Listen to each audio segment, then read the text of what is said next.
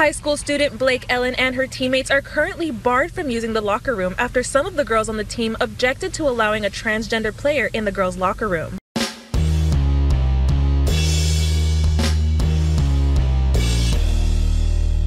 How's everybody doing? My name is Anthony Brian Logan, and today we got to talk about girls being banned from the girls' locker room to make way for transgender girls.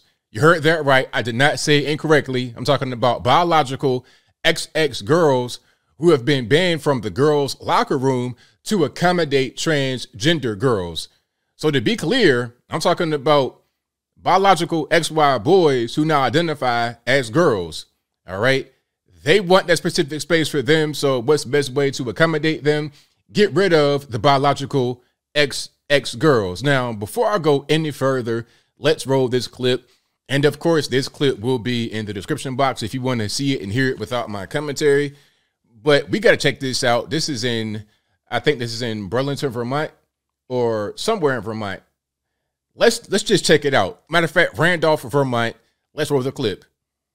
A high school volleyball team has been banned from its own locker room while school officials investigate a conflict involving a transgender student on the team. Kiana Burks is live outside of Randolph Union High School where she talked with one of the players who is now facing disciplinary action. Kiana, what do you know? Vermont education policy says that students can play sports and use whatever locker room corresponds with their gender. But some members of the Randolph girls volleyball team say that they object to having one of their transgender teammates use be in the room while they change. I spoke to one of the girls. It's a huge thing. Everyone's asking like so why aren't you allowed in the locker room? Like high school student Blake Allen and her teammates are currently barred from using the locker room after some of the girls on the team objected to allowing a transgender player in the girls' locker room. My mom wants me to do this interview to try to make a change. Allen says the dispute started when the trans student made an inappropriate comment while members of the volleyball team were getting changed. She says her issue is not with having the trans student on the team or at school, but specifically in the locker room. Biological boys that go in the girls' bathroom, but never a locker room situation. She says that fellow team members and parents have also raised similar concerns and have approached the school with them. They were told that under state law, the transgender student could use whatever locker room they identified with. In an email to families, school officials said that the school has plenty of space where students who feel uncomfortable with the laws may change in privacy. They want all all the girls who feel uncomfortable, so pretty much 10 girls to get changed in a single stall bathroom, which would take over 30 minutes when if one person got changed separately, it would take a minute. Right. So, okay, let's just put everything into perspective here. So, 10 girls on the volleyball team, which might almost be the entire team. So, they're telling all of them, hey, there's one bathroom with one stall in it. So, you can have one person per time in the bathroom. You guys change in there. Right rather than a locker room where you have a bunch of different stalls where you can get changed at once after the game or whatever the case may be before the game.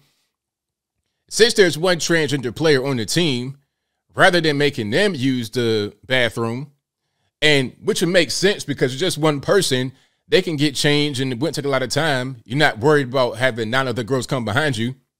That'd just make sense. But rather than making this transgender person go to the bathroom they're making the girls who don't want to be in the bathroom with the biological boy go into the bathroom and change individually. That's not right.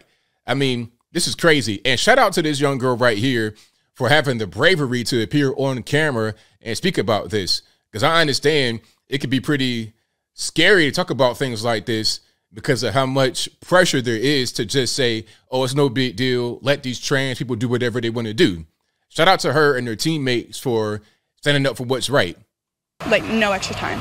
In the email to parents, school officials say they are conducting an investigation into allegations the girls harassed the transgender student.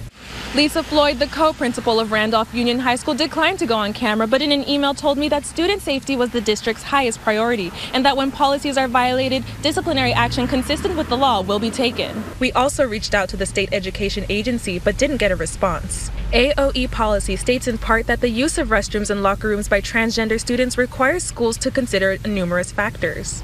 But the policy goes on to state that a transgender student should not be required to use a locker room or restroom that conflicts with the student's gender identity. So every girl, no one's allowed in the locker room, no volleyball girls. Even during school to get changed for gym class, no one's allowed from volleyball.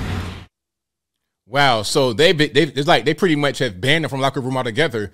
So You got you got PE class, you can't even go in there. You can't change it for a game or anything like so it, it extends beyond just volleyball. You're talking about in general, you can't even go in there and, and change. That's crazy.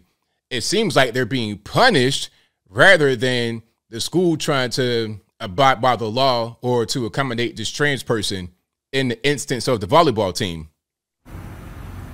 And the school says that their decision to close the locker rooms and launch the investigation should not be seen as judgment on either side of the dispute and say that they are continuing to work to create the safest environment possible for all of their students. Reporting in Randolph, Kiana Burks, Channel 3.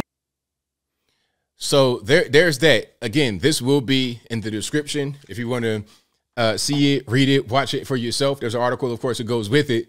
But that's crazy. That's totally crazy.